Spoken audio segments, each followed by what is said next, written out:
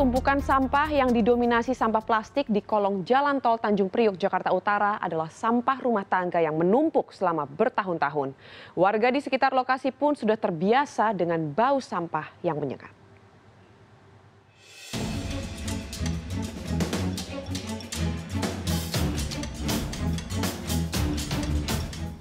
Inilah sisi lain ibu kota.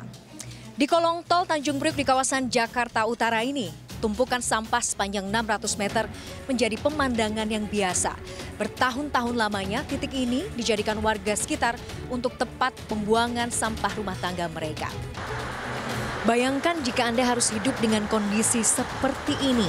Selama belasan tahun lamanya, warga di sekitar kolong tol Tanjung Priok menggunakan ruang di bawah kolong tol ini sebagai tempat pembuangan sampah mereka. Sampah yang diperkirakan sedalam 2 meter ini didominasi sampah plastik dan aneka sampah rumah tangga. Meski menimbulkan bau menyengat, warga mengaku sudah terbiasa hidup berdampingan dengan sampah. Saya mau tahu, memang dari abang kecil, kondisi di kolong tol Tanjung Priok ini sudah penuh sampah kayak gini? Sudah. Iya. Ini Sudah. Ini sebenarnya sampah dari mana sih bang? Dari warga. Warga.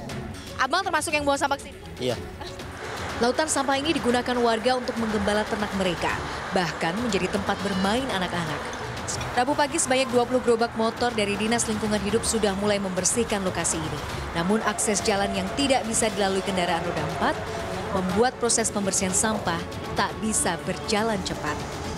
Kalau saya lihat dari sampahnya ini kalau untuk menggunakan germor kira-kira butuh waktu kurang lebih satu bulan. Itu dengan germor sebanyak 20-an. 20 germor itu makan waktu satu bulan. Dan cuaca mendukung.